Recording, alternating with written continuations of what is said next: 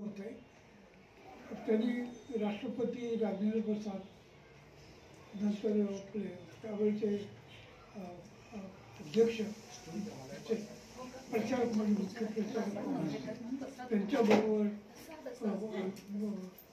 बिहार गुजरात इकडे प्रचार केलेला आहे. आणि एकोणीसशे सत्तेचाळीस साली स्वातंत्र्य मिळाल्यावर त्यांनी काँग्रेस सोडून दिली. आणि मग ते मरेपर्यंत जास्त जगलेच नाही नंतरचे. सहा वर्ष जगले त्या गोरक्षणाचं काम केलं त्यांनी. पंचविशी ना पुस्तके लिहिलेले आहेत गोष्ट एका फकीराची. आता आपण